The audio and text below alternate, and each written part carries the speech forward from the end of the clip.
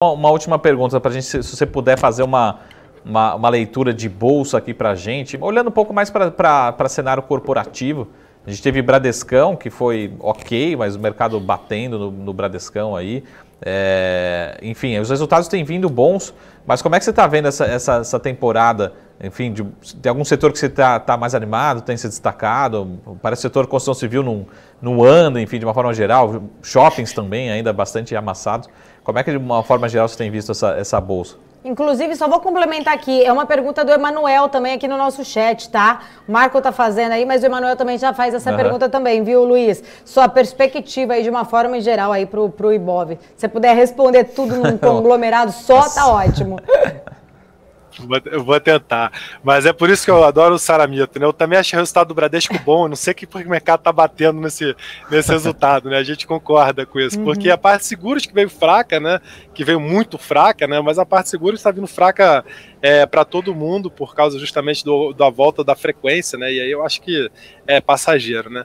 Mas posto isso, assim, quando você olha a bolsa como um todo, né? Os grupos majoritários da bolsa, a sensação que dá é, é que está muito barato mesmo. Então, assim, commodities, é, as empresas estão gerando aí de 20 a 30% de, de, de caixa anualizado nesse trimestre, né? então você pega uhum. a geração de caixa e analisa 20 30, só que elas estão guiando para um segundo semestre mais forte ainda, né?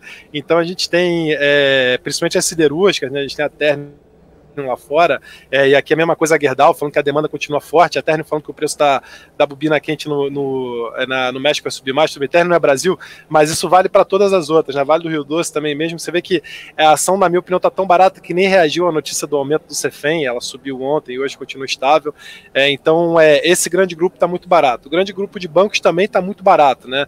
A gente vê resultados aí muito fortes ainda, muito bons, né? Quer dizer, voltando pré-pandemia, apesar que tem muitas partes que se movem lá dentro, né? Então você vê é, uma margem com os clientes é, uma receita líquida de intermediação com os clientes flat, mas a composição do crescimento da carteira vai mudando. Então, ao longo do segundo semestre, essa receita líquida de intermediação deve voltar a crescer. A gente vê, por exemplo, o Bradesco fazendo um bom trabalho de contenção de custos, é, a gente vê a inadimplência ainda muito baixa.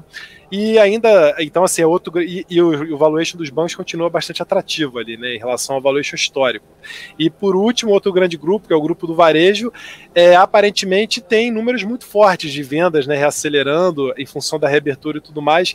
Então, assim, de forma geral, e aí, por último, sobe o grupo de utility, né? O grupo de utility está passando pelo problema da seca, e aí a gente, a gente vai ter provavelmente é, alguma perda das geradoras que não estavam contratadas, ou melhor melhor, desculpa, que estavam muito contratadas e aí vão precisar comprar energia no Mercado Livre para suprir esses contratos, né? Então você tem aí alguma perda no setor de utility, mas aí tam, também é um setor que ficou super para trás, né? Um setor que que está que tá relativamente barato quando você já olha no cenário de normalidade.